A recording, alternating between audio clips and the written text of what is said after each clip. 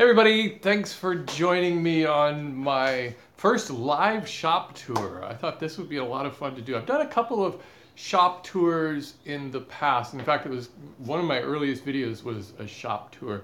So I thought I would kind of revisit that. I find shop tours interesting. It's kind of fun to look into other people's shops and just to see how they organize things and how things are put together, um, the different tools they use, that sort of thing. Uh, I'm going to be answering questions from patrons over on Patreon. And of course, any of you do a uh, super chat, I'll, I'll, try to get to your questions too. Uh, first of all, and I, I, actually wrote down some notes along with your questions because I knew there would be some questions that would probably come up automatically. So I, will hit those first of all. I know a lot of you are going to want to know the size of my shop. It's a 18 foot by 20 foot shop. That's 360 square feet. And for those of you on metric, that's five and a half meters by six meters wide, which is about 33 square meters. So it's not a huge shop. It's, uh, it's probably a small two car garage. This house was built in 1950. And so I don't know if the garages were smaller back then, but it seems kind of smaller, but it's, perfectly big for a shop. We moved into this place in 2001 and I don't think we've ever parked any cars in this garage. So it's always been a shop. When I we first moved here, I uh, set up all of my tools that I had at that time because we just moved from an apartment and all I had was just some small handheld power tools. And then I think the first thing I built was probably a workbench. I think if you're setting up a shop, that's what you got to start with is a workbench. And if you have a small space, start with a small workbench. My biggest mistake was I made a huge workbench, which I found out over time that I didn't really need that much space on a workbench. Uh, let's see, more questions that I'm anticipating I will get. Oh, I just got a super chat in from, I remember I brought my glasses so I can read these things. Uh, from Lucas, he wants to know uh, how I manage dust. Miter dust drives him crazy. He's never found a good solution. Uh, as far as dust extraction, all I use is my shop vac and I hook it up to individual tools. I hook it up to my router and my router table and I hook it into my table saw and my bandsaw actually has a dust port on it. And actually my disc sander does too. So I guess I kind of hook it up to just various tools and that takes care of most of the dust extraction. Other things like sanding that I know even with a vacuum hooked up to it are going to create a lot of dust. I use I always have a dust mask on and actually I'm wearing a dust mask more and more in this shop because I I don't know, I just get more and more worried about fine particles of dust. But the best way to handle dust would be to get a dedicated dust extractor and have it running, have the ducts running to every stationary power tool you have. And I move my tools around too much, so it's not really the best solution for me.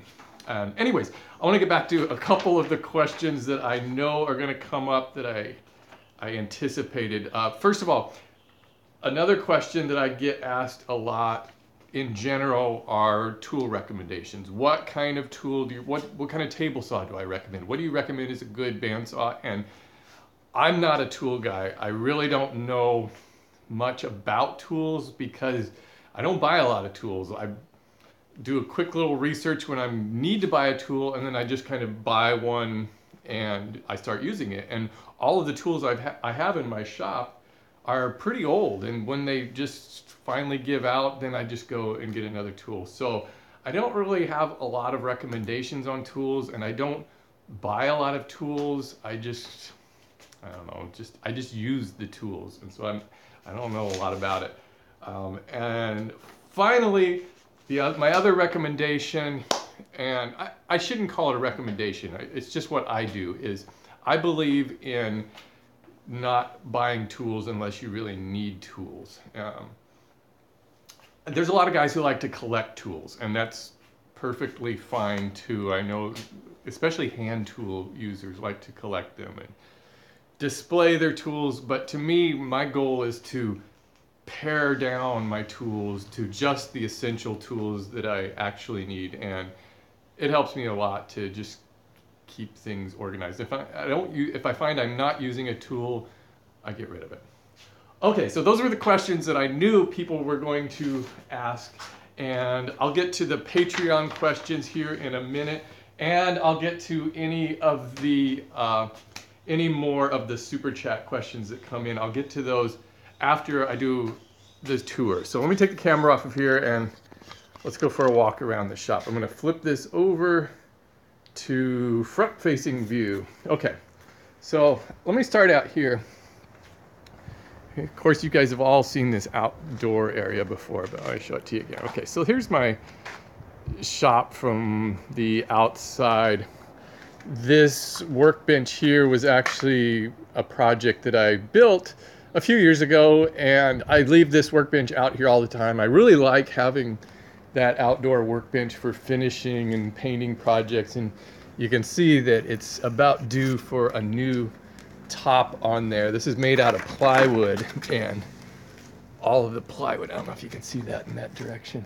All of the plywood is just splitting just from being in the weather and the rain and everything. But that's really handy to have. I keep my bandsaw right next to the garage door. So when the door comes down, it'll stop right about here. And I think that's a good space for it. I think it's easy to forget that if you're setting up a dedicated shop to kind of think of where the garage door is as usable space. Like think of it as another wall that you can kind of set things against. And for a bandsaw, this is a great location because any longer boards that I'm running through there can just extend right out into the driveway. Uh, let's see. This is my dust collection unit that uh, Lucas was asking about. And I, of course, I built this uh, probably a year ago. It's just a shop vac with one of these cyclone units and it just rolls around. I leave it plugged in all the time. Uh, I have this sliding cabinet. I really like this cabinet over here a lot. And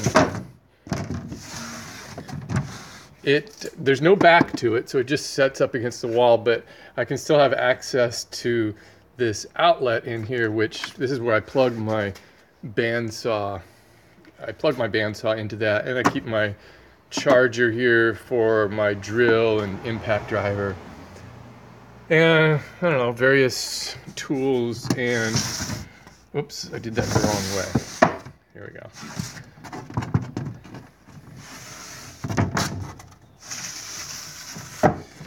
So over here is mainly my drill bits and drivers and under here I keep this whole set of drill bits and drivers. And I've got some extra space in there too. My random orbit sander is here with various grits of sandpaper. You can see that I'm running low on sandpaper and I've got some up here that I haven't actually organized. Side note about sandpaper.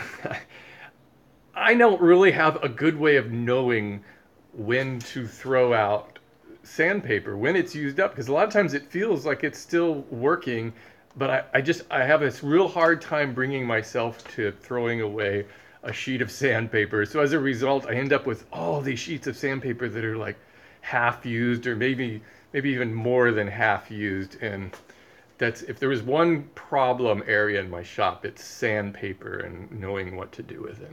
Anyways let me get back to the tour. Um, this is a really cool plane that uh, a viewer sent me. He built that as part of the Makers Care uh, fundraiser that we did a couple years ago. I thought that was really cool. Um, I don't have a good spot for my crosscut sled, so it just kind of sits here against the wall. And my planer, and I, I haven't used my planer in a long time.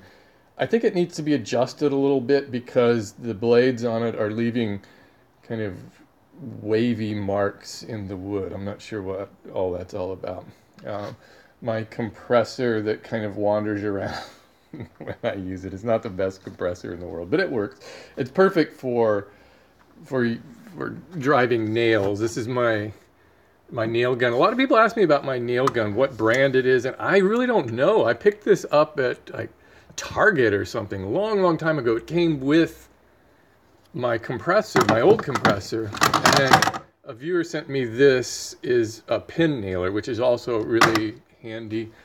Uh, I think a pin nailer and just a nail driver, those are really two of the most handiest tools I own. Uh, oh, moving over here, I've got my drill press where I can access it. And this was one of the changes I made to the shop a few years ago is I put this workbench out here away from the wall. I don't know why I didn't do that sooner. I had these up against the wall. This way I can walk around, even though it's kind of messy. It's a little difficult to walk around there now. But I can walk around on this side and access my spindle sander, which I also love.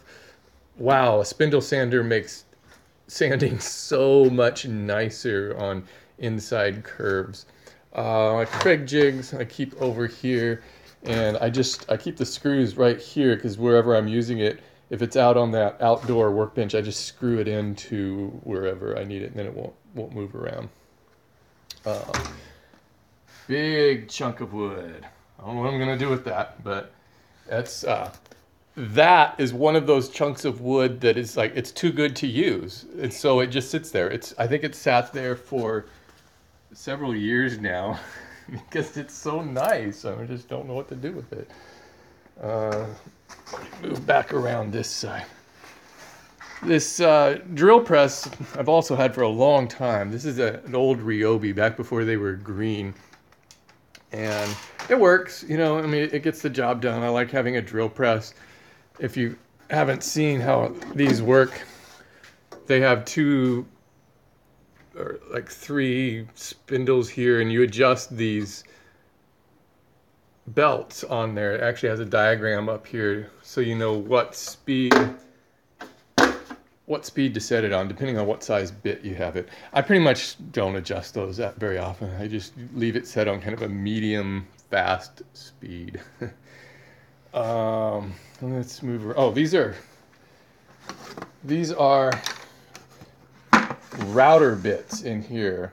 There's two little ones and then bigger ones down there. This is also a problem that I need to deal with is that that's my router over there. Here's my router bits over here and that doesn't make any sense. So the idea, maybe I should just go, let me go over to the router table, talk about it for a minute and then I'll come back to the organized tour.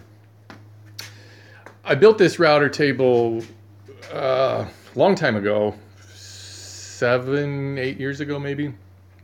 And the idea with it was I would make these drawers. You can see there, I'm not using them the way I was supposed to.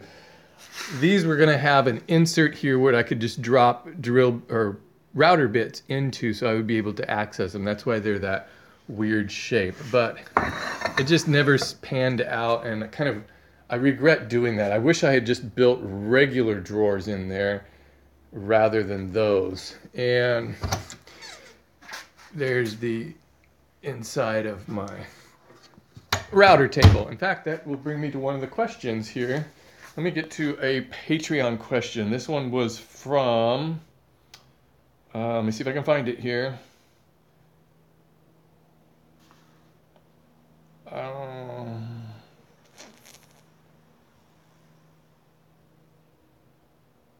I can't find it.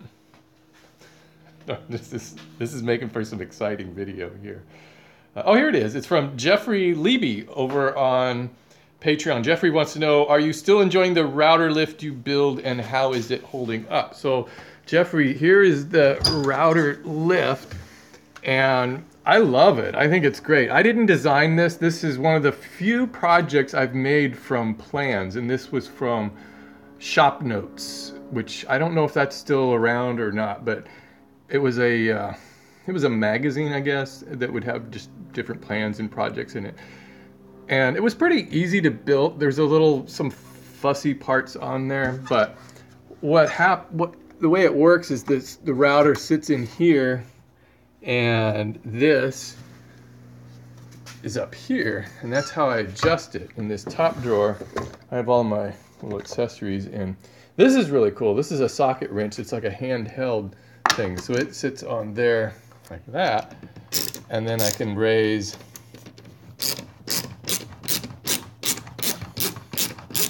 that's how I raise and lower the router bit. Uh, I really like that lift a lot, and I wish I actually had plans for it to myself because it's one of the projects that I get. One of the videos I did that I get so many people who ask for plans for that, and I don't have them. All I had was the original ShopNotes plans, and I don't even think I have those anymore. So if you can find those old copies of ShopNotes, that's where it would be. The router table itself, I like but it's actually another one of these things that's probably too big. I think I overbuilt it a little bit. I thought I would need more space this way, and as it turns out, almost everything that I, almost all the profiles, anything I cut on the router are much smaller, and usually I don't need this extra space in the back at all. This fence I really like, and here's another thing. I put in this T-track here. I just have the cord sitting there. This T-track that I don't think I've ever had a use for. So that was kind of, I don't know, live and learn, I guess. I thought it would be useful, but it's really not because I never really need to guide anything straight through there. I use this one sometimes. I'll clamp some feather boards in there to to keep something running straight, it's fairly, fairly useful sometimes. But that's the router table and the lift inside. I get back to my tour where I was here. This is one of my two, three, four workbenches. I, I kind of have a standard style of workbench that I make and just do modifications. This one I made with larger overhangs and it's got some drawers down here I have some exotic lumber that I can't bring myself to throwing away even though I'll probably never use this little piece of lace wood but I don't know at least it's in a small space so I I won't accumulate too much of it I've got a few of my Kreg uh, clamps over here they sent me and these are kind of specialty ones that fit into this vise here. These little things here hook onto my pipe clamps and they just give them a little extra surface area. They just slide over the clamp or slide over the pipe and just give me some extra space. Okay, let me try to catch up here. Um, drills, pretty much always just sitting around over here someplace. This is my combination discs. Hold on a second. I think I'm getting a bad connection warning. Let me scroll down a little bit, see if anybody. Sorry for the noise. Uh,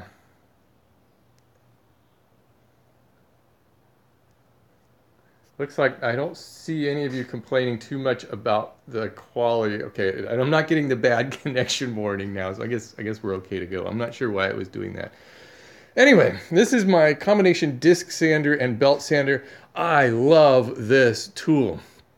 Man, if you were going to get one sander, I would recommend this one or something like it. This has got the 8 inch sanding disc and 1 inch strip belt sander on there. And when I when I first got this, really I just wanted the disc sander, and I thought, well, okay, I guess it's got a a strip sander on there. You know, I'll probably never use that. As it turns out, I use this thing all the time. I mean, it's great for sanding little things, for shaping things. If you use it down here, you you have a back on it, nice firm support. But you can sand up here, and it'll bend, and you can you can shape wood on it. Plus, I use it to sharpen tools, uh, rough sharpening, kind of like a grinding wheel up here. I'll just run the tool on there. So I really like that. And it has dust collection ports that work really nice too. So I can just hook up the shop vac to that. Um, that's a great tool. The only thing about it that's kind of a pain is these adhesive uh, discs are kind of hard to peel off and put back on. So I tend to use them until there's hardly anything left just because I don't like to change them. Another one of my workbenches, I think this is one of the first workbenches I built. This is the first workbench I built for my shop. It used to have it over here and it was just kind of hobbled together with scrap wood and some used handles that I found somewhere. The and these are all just filled with junk. I'm not really good at organizing this sort of thing. This one was kind of an afterthought. A few years later, I put this drawer in here. I had a piece of oak and used that for the drawer front. So nothing here really matches, which is okay. I know where everything is for the most part. Um, you can see over here, I've still got my test boards from when I was doing all the different weird staining techniques. And I'm really surprised how well these haven't faded. Look at this. This is Kool-Aid. And it's been sitting out here, right, you know, sunlight, everything for months now, and it still looks really good. So I'm going to be making another one of those videos sometime too. I think that was a lot of fun trying out different different things to stain with. Uh, I've pared down all of my handheld screwdrivers and things just to the ones that I only to the ones that I really need most often. I've got kind of a beater chisel here that's good for stuff other than, you know, real woodworking. I use it to just kind of chip away things. And uh, different types of screwdrivers. I like having this a small space again because it prevents me from expanding and over collecting tools. Um, mallet, use the mallet all the time. Couple of hammers, and that's kind of the most of the tools. That's the most hand tools I use. I have a couple of saws up here I used last week. That one, my coping saw, and then I have a, a hack saw. And I don't know if any of you remember that cleaning boy needed sign.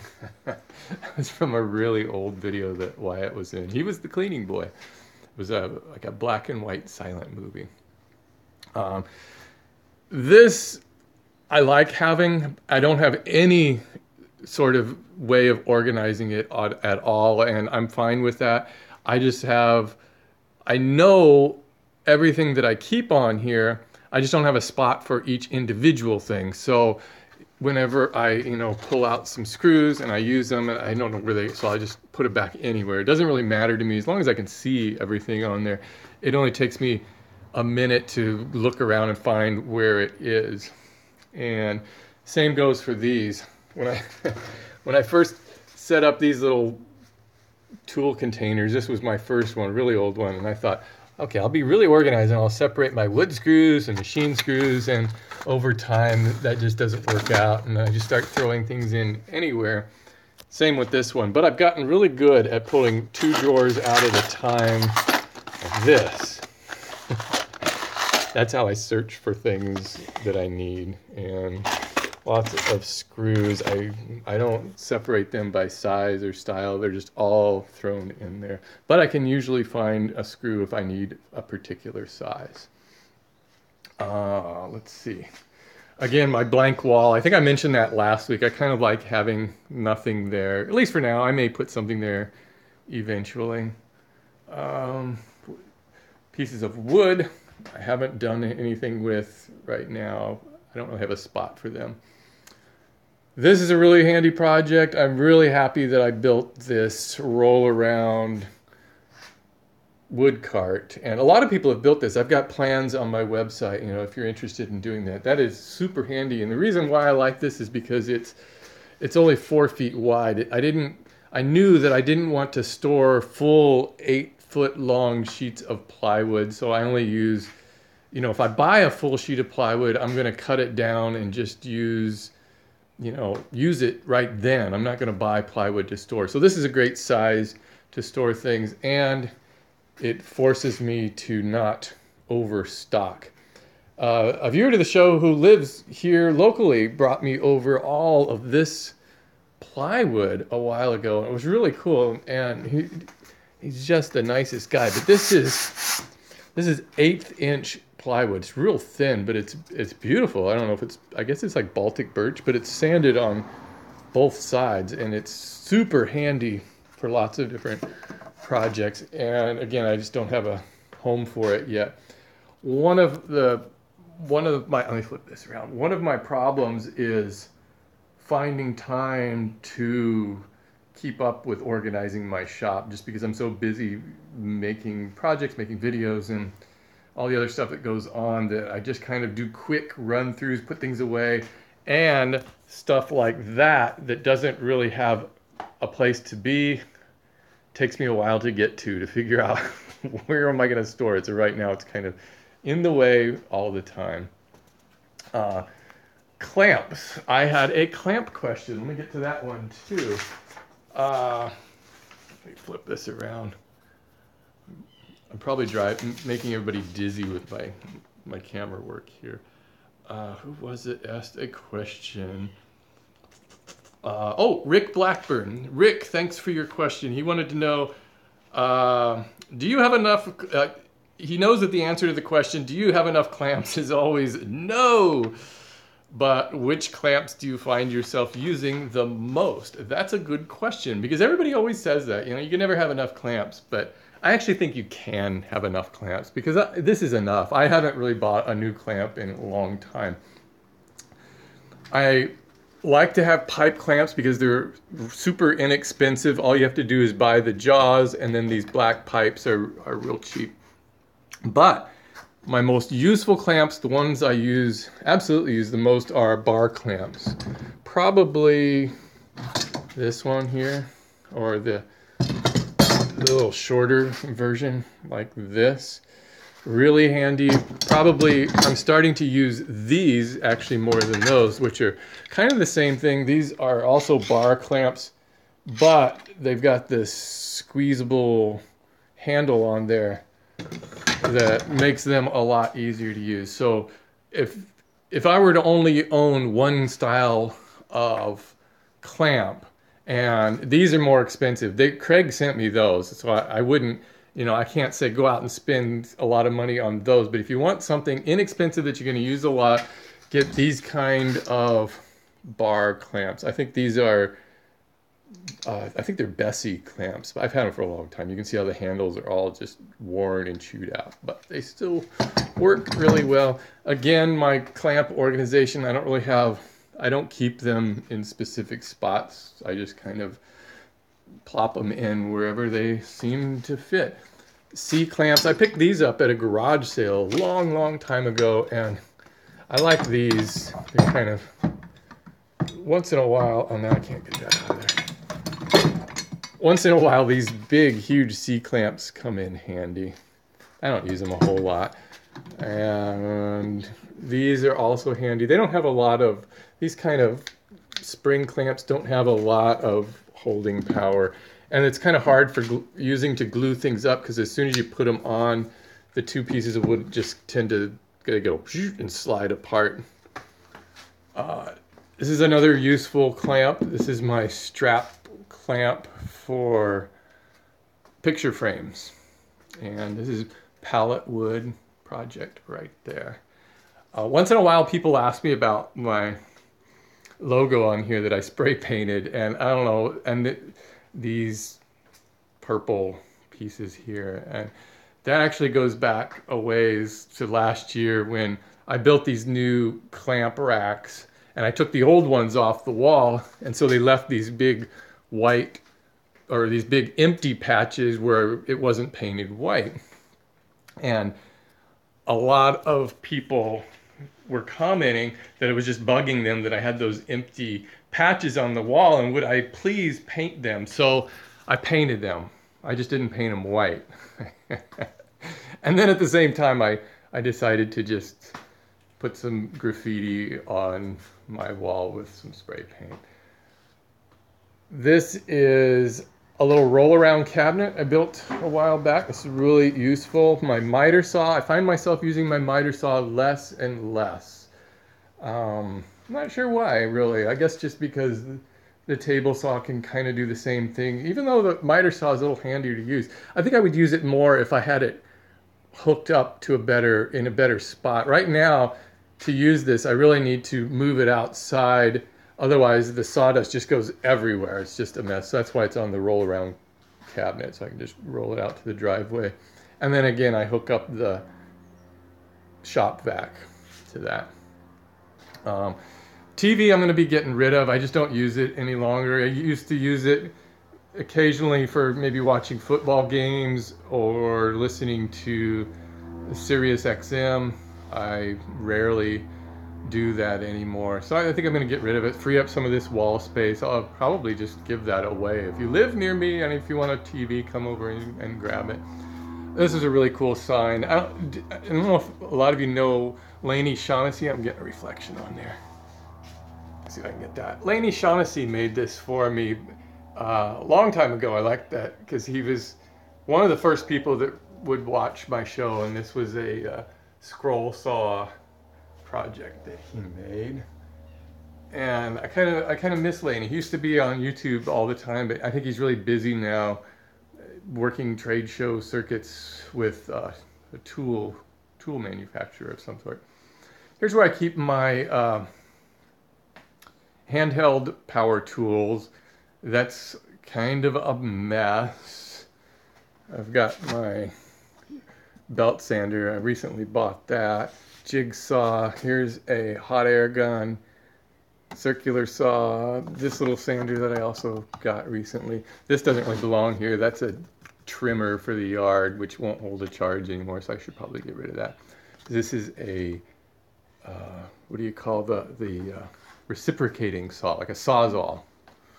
And up on top, I've got another circular saw on up there doesn't work as well as this one. That's why I bought this one. I was having a hard time getting a straight cut with that, so I'm probably going to give that one away too. Biscuit jointer, which I use about once a year, maybe not even that. So that one's that one's on my short list of tools that I may, may be getting rid of. Uh, this I built this with the intention of using it for table saw accessories and I've got like my dado stack here and a couple of other push sticks and, and, things. This turned out to be a pretty good idea. I put these, I have a crosscut sled and a miter sled and they're just hanging from chains up there and so that's kind of a good way to keep that out of the way. Of course you guys have seen my scroll saw and my lathe. These are uh, tools that were my dad's. He bought those back in the 1950s. And they're, I don't know, I wish I, better ones would be nice. These are really old, especially the, the jigsaw is kind of clunky to use. It makes a lot of noise. And if you can put a shop sink in a shop, this thing is real handy to have just for washing out finishes and brushes and even just washing my hands and just keeping it keeping everything nice and tidy. I like having this thing. I keep my finishes in this cabinet, or some of my finishes. Um, and I love that smell when I open that up. I don't know what it is about that. Uh, spray paint. And then the rest of my finishes are down in this cabinet. This pull rolls out. It's really a mess and a disaster right now. This rolls out and I've got a door on this side and a door on the opposite side, which in retrospect is not very practical because nine times out of 10, the thing I need to get is on that back side. So I got to roll that out. And that wouldn't be a problem if I wasn't so messy on the top because now when I roll it out, I got to make sure things aren't going to be falling off, and then I've got to move this junk out of the way. Um, let's see. That's kind of a go. Oh, I know what I'll show you is this part here. I don't know if some of you might not have seen this. I have this loft area up above my garage door where I keep long boards and uh, just other things that are just too long to keep anywhere else. I'm trying to keep less. I used to have a lot more stuff up there, but I noticed that it was all, this is bowing down. So I don't think it's meant to support that kind of weight. So that's what I do. I also have these cabinets here that are the back side of the cabinets inside my office. And they're so high up there, it's, it's not really practical for anything. But I store some things up there that I hardly ever need.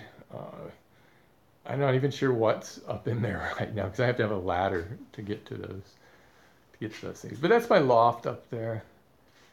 And of course the table saw I, I like having I love having the mobile table saw because then I can move it out of the way and then I've got access to my workbench and and I just like to work outside on it.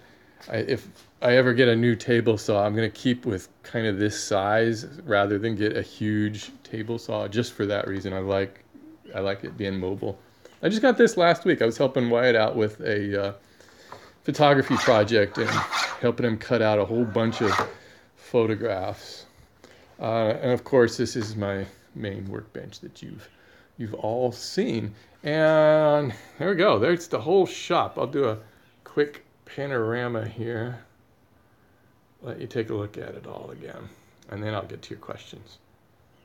And that's the shop. And I've got a lot of lights in the shop too. Lights, lights, lights, lights, lights, lights everywhere. Lights are good for woodworking and they're good for shooting video too. Okay, I'm gonna flip this around. Hello again. okay, set that on there. I Hope that I hope that wasn't jarring you around too much during that. I want to get to some of the questions that uh, I want to get to all of the questions that people over on Patreon uh, wanted to know.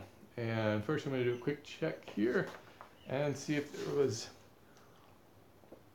anything else that came in. Uh,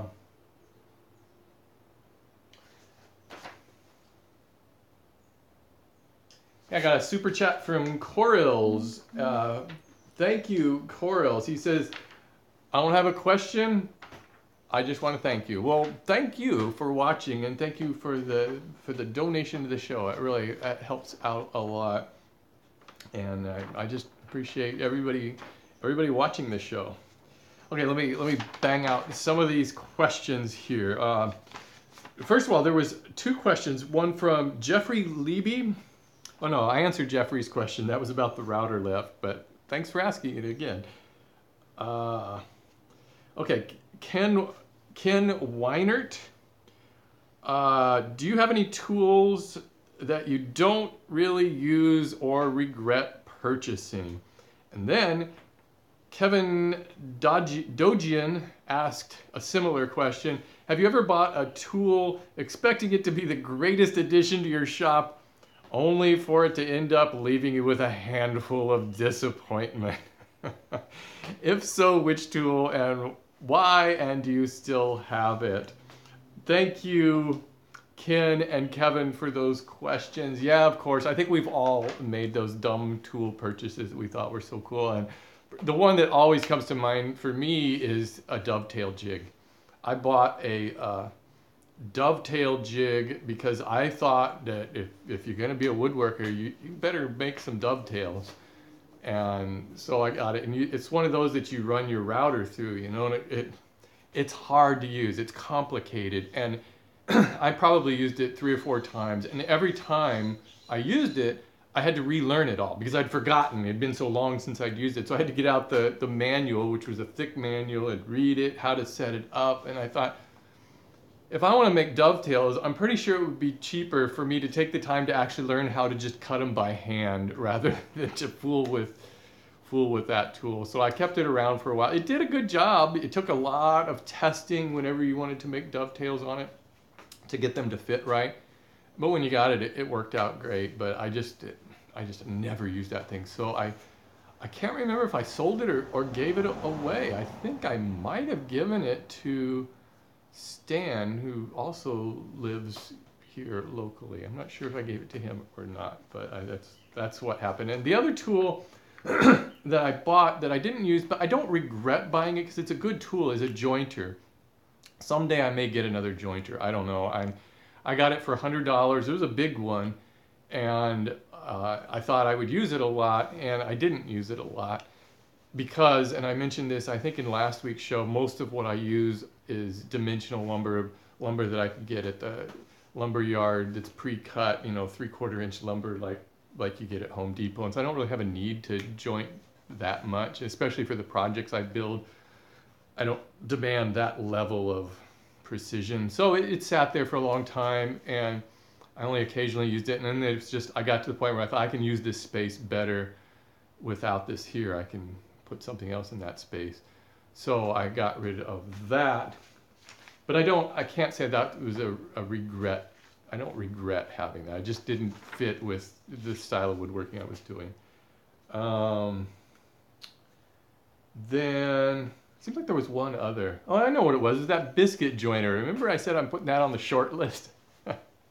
I got a biscuit jointer because I used to watch Norm Abram on New Yankee Workshop. And for a while there, he was like really into biscuit joints.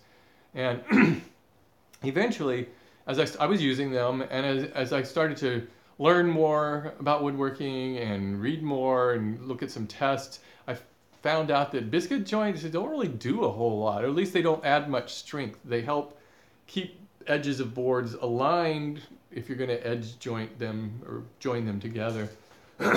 but I don't think it's that useful of a tool. So I, I, may be getting rid of that. You know who made a cool project with uh, with a biscuit joiner is Steve Carmichael. I'm, a lot of you probably know Steve Carmichael, and he uh, he made a a project. I think it was a lamp maybe, where he just just cut a whole bunch of holes in it with a biscuit jointer. And now that I'm thinking about it, it might not have been a biscuit jointer. It might have been a pocket hole. I think it was pocket holes he did, so I don't remember. But it was really cool because it was just emphasizing the thing that everybody says you're not supposed to emphasize. I liked that. Uh, let's see. Let's move on to. Let's see. I got Jeffrey. I got Rick. Ken. Uh, oh, another Rick. Rick Miller. Uh, what tool do you currently own? Would you really like to upgrade to something newer with better features? Yeah, actually, I have two tools that I would like to upgrade. One, my bandsaw, and it's not that it needs an upgrade as much as it's just worn out. And I've used it so long that it's it's hard to keep it tracking straight. It's excessively hard to change the blades on it, so I kind of use the same blade all the time. And it's, I just know that pretty soon it's just gonna, it's just gonna die on me. And that's kind of a big purchase, a bandsaw. So I, I, I want to get one like that, 14 inch or bigger. I don't see much use on those little 12 inch table, tabletop ones. Uh, just because a lot of what I want to do on a bandsaw is resawing, making boards thinner by you know running them on the edge. The other tool I would really like to upgrade is that scroll saw that I mentioned earlier, that old antique scroll saw. And because it's kind of fun doing scroll saw work, and the newer ones within the past 60 years have improved. I mean, they're smoother, they have an easier way of changing the blades, and so that may be something along the horizon. And scroll saws aren't that expensive, too. So one of these days I may get me a new scroll saw. Thanks for that question, Rick. Uh, Tom Kelly wants to know if Wyatt's home for the summer, will we do any more Me-Mo makes? He liked those. Uh, thanks, Tom. That's cool. I'm glad you liked that series. That was over. I think we did those over on Mirror or on yeah, on the other channel, Mere Minutes. Um, yeah, that's a good idea. We should do some more of those. I'd like to do some more videos with Wyatt. That would be fun. If we get some time this summer, uh, maybe we'll do those. And Me-Mo Makes was where we would show projects that other people have made and posted on the website, and we would discuss them. Um, let's see. Uh, Robert Hughes. Robert Hughes says, uh, doesn't really have a question. He says, I'm glad, I'm, I'm so glad to see a shop without those expensive Festools. Glad to have a representative for the everyday man. well, that's woodworking for mere mortals. That's the whole point of the show. And would you know it? A call coming again. I got to reject that. I did learn this time. I turned off all the notification sounds on my phone. Uh, anyways, as, as far as the Festool and everything, Festool, I mean, I'm sure they make great tools and everybody who uses them loves them, but I also think that it's it's important for me. Remember, I'm I don't do woodworking for a living. I make videos for a living, and so all of my projects and everything I do, I do with the intention of my audience and what they're expecting to see and keeping it for mere mortals as much as I can. And so, you know, those expensive tools don't really fit within that format. And plus, I have a perfectly fine time working with inexpensive tools.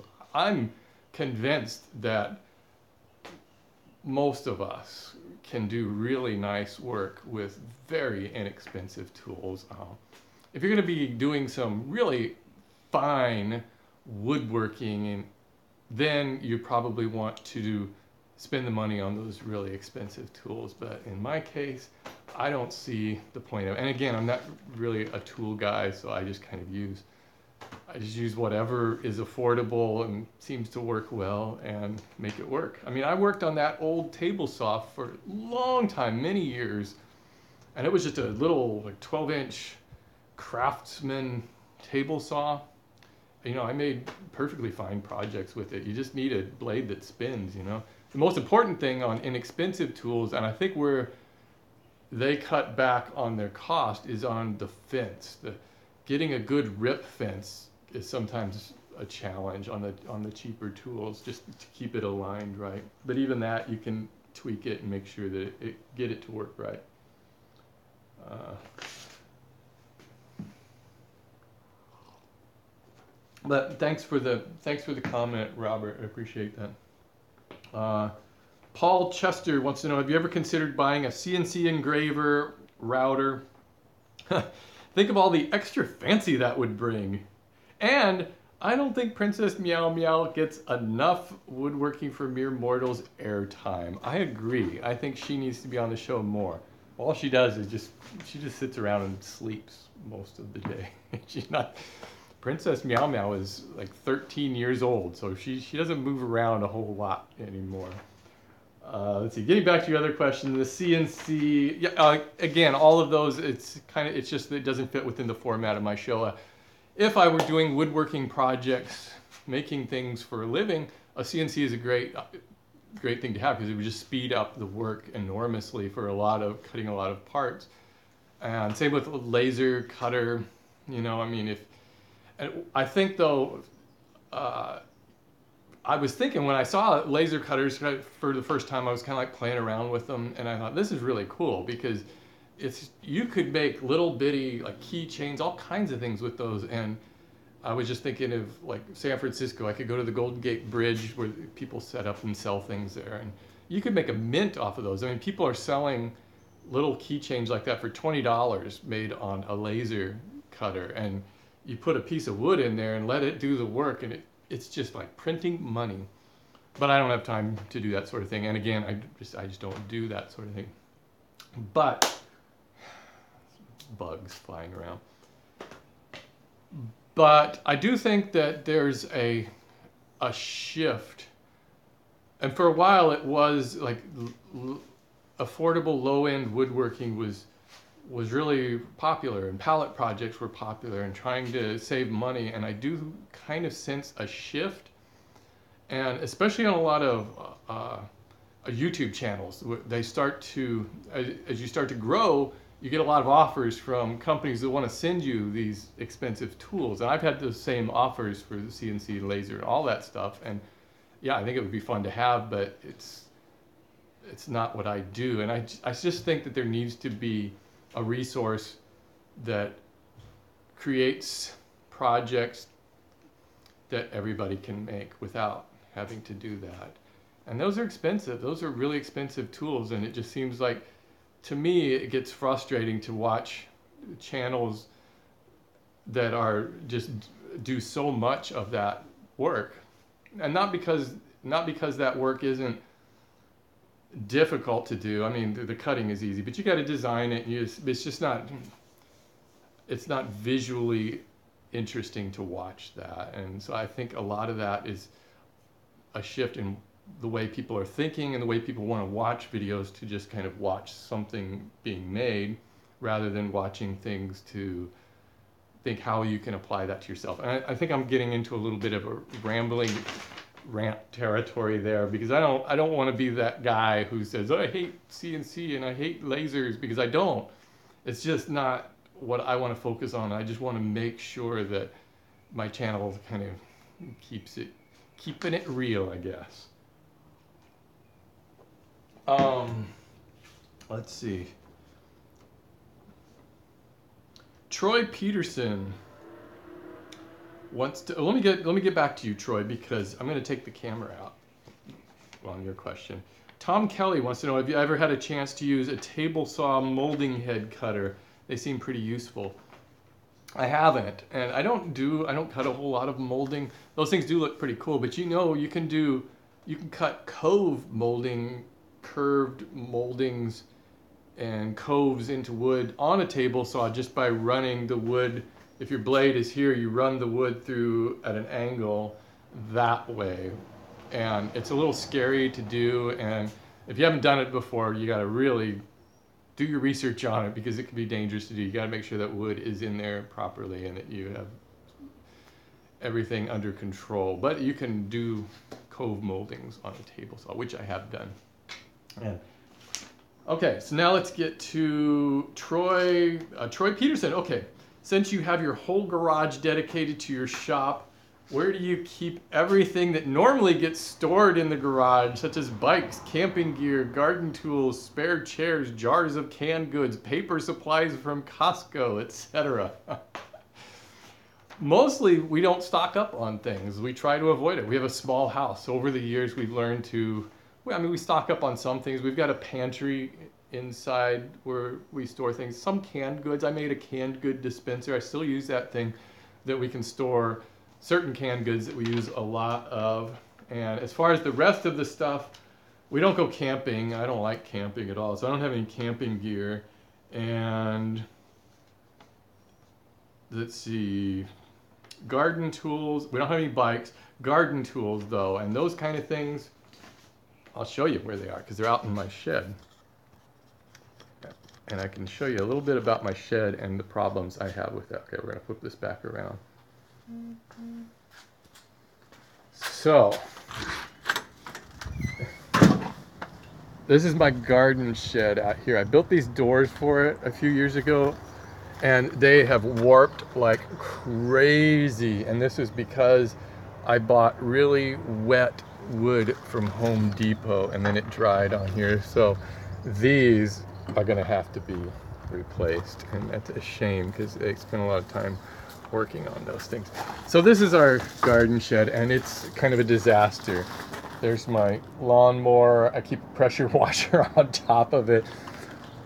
My goal last summer was to organize this and put shelves in here. I never got to it. I hope to do that this summer. I've got all paint in here and a little ladder. This is where I keep the TARDIS is still sitting in here and I haven't done anything with it ever since I built it. So that's where we keep all of that gardening stuff. We do have a few lawn chairs back in there. There's a bird feeder I made a while back. I took it down when we got the house painted and I haven't put it back up yet.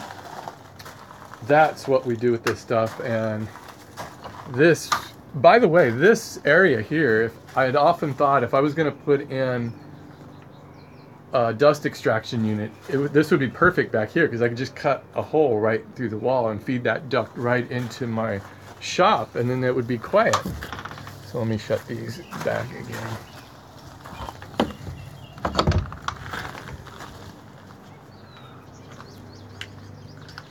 So that's my that's my messy shed, and that's what we that's what we do with all that kind of junk. But for the most part, the key is don't save a bunch of junk like that. And I don't know, we've just been we've gotten pretty good at not not hoarding things. Uh, so yeah, I think that was the last question from Patreon. Um, I think so.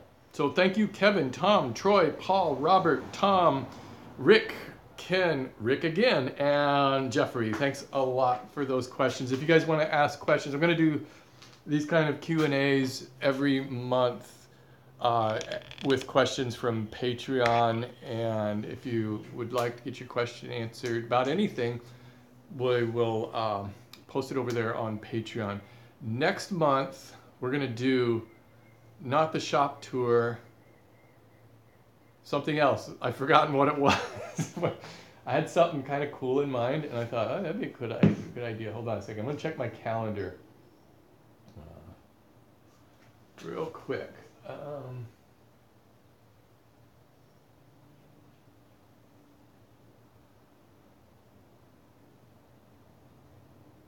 and I don't remember what it was. I'll let you guys know. Make sure you guys follow me over on Instagram and Twitter, and I'll keep up keep you up to date with what we're going to be doing on the live shows.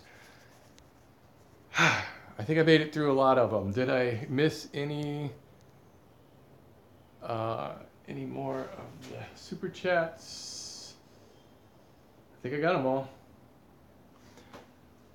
kind of out of breath now. I feel like just just talk, talk, talk, talk, talk. And I don't think that I think I covered everything everything in this shop. I hope you enjoyed the shop tour. Let me know if you guys have any suggestions on, you know, what do you guys do to improve your shop? What's the biggest problem you have with the shop? Is it storage? Is it storage for the tools?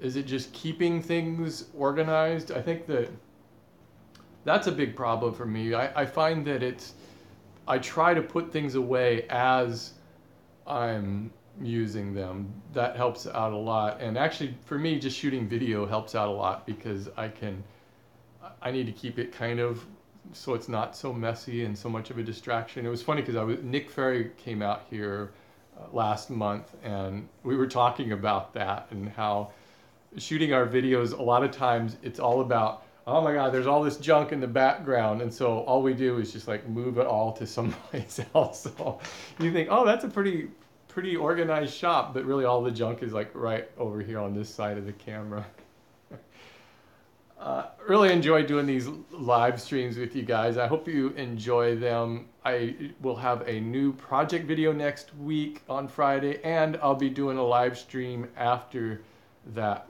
project video. I think it's going to be a basics video this week. I haven't quite decided.